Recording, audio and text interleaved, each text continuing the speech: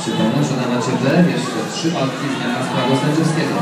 Proszę o następny skład sędziowski na matę przed przygotowaniem się do wyjścia. A my powracamy na matę i na macie mamy Radowski, Mikołaj i Majewczyk Andrzej. Przygotowuje się Pękala Erwin i Kryga Jerzy.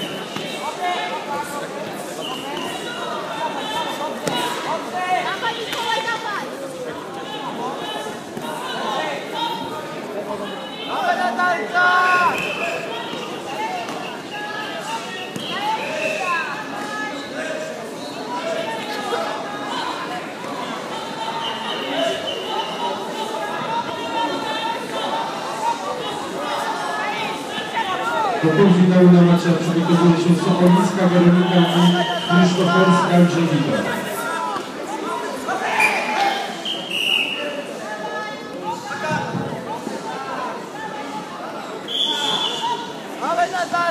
Zwyciężył Sino, Szymon, Janowska, Konstancin Jeziorna. Proszę do stolika.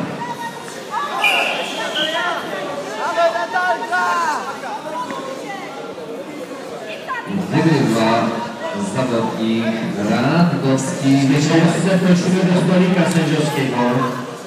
Zwycięzca proszony do stolika. Do następnej walki proszę o wyjście Pękala Erwin i Prosimy.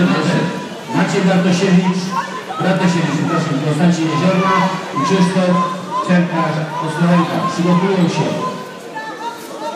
Kamil Janusek, Wrocław, Sydney Dojo i Mateusz Michojski Wołów.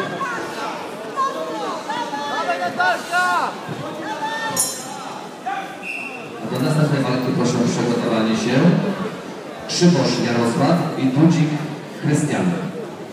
Na matę proszę o wyjście Pękala Erwin i Fryga Jerzy. Przygotowują się Krzywosz Jarosław i Dudzik